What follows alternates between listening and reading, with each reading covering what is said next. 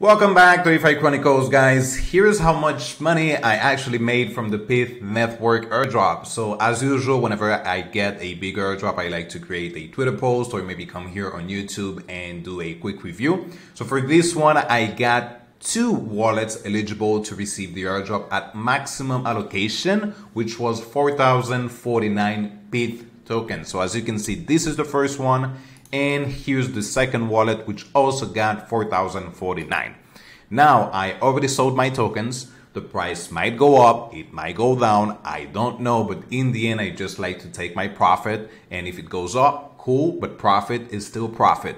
So for my first wallet i sold um, the the total for 0.29 i think it was and the other one at 0.31 so in total, you guys can see that I have my funds right here, which is $2,421, which is not bad at all.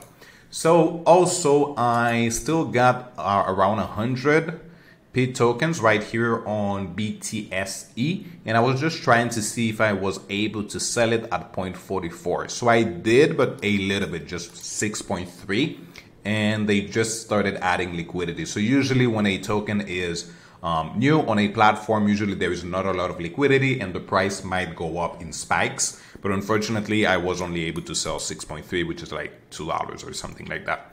And other than that, let's see. So yeah, so I still made around 2.4K more or less.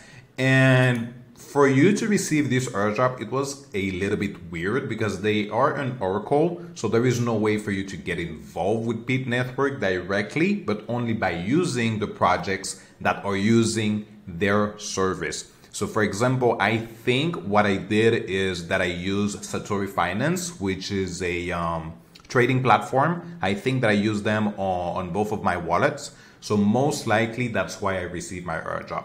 So there you go, a pretty good profit to end the year now in November. And let's see what else we can get before 2024. As usual, guys, if you find this content valuable, um, please share it to a friend, subscribe, like. Thank you for watching. Happy farming, guys.